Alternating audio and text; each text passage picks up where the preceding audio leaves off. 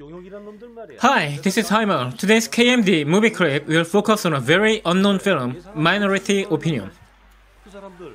Sadly, this film is based on a true story. Or rather, I must say that this film is based on a true history. Back in 2009, the city of Seoul introduced a rebuilding project for the Old Town area. Naturally, the citizens living there protested. They could not find any other place to live with the compensation money from the government. Some of the protesters began a sit-in. The government was quick to dispatch a huge anti-terror army to dispel flies from the cake. The riot police employed many violent measures to quell the protest. In the meanwhile, a fire broke out. Until now, nobody knows how the fire started. After the fire died, several people were found dead. Many protesters, plus one riot policeman. One of the protesters were sued for killing the policeman. The man said that it was just a self-defense. He said he attacked the policeman because the policeman was attacking his son. The son also died.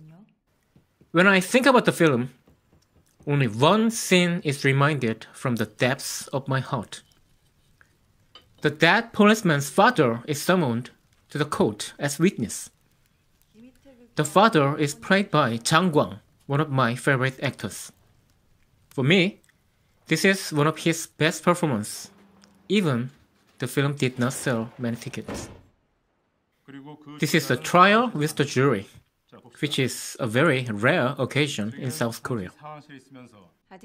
The prosecutor wants to provoke pity for the father among the jury. The dead policeman was the father's only son. His son was so happy when he joined the police.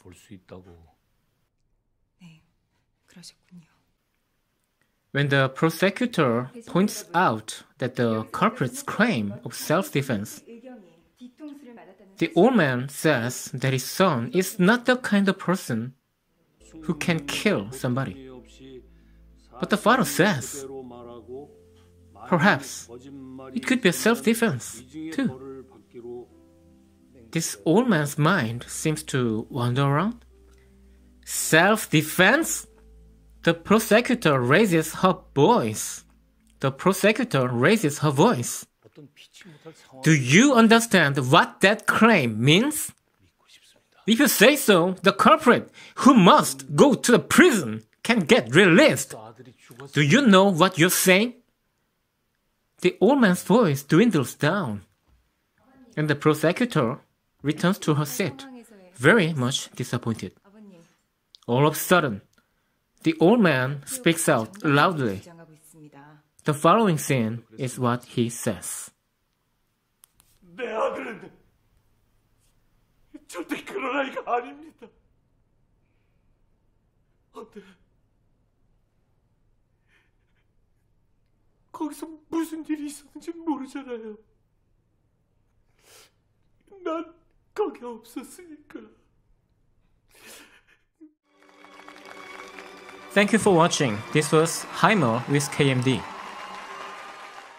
KMD does not demand subscriptions or thumbs up from viewers.